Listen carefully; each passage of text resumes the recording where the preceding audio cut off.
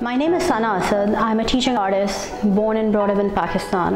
I started creating mixed media painting in 2015. I'm a big fan of Walt Disney, Brittney Lee and Japanese manga drawings. I like creating whimsical faces. I consider myself as a storyteller.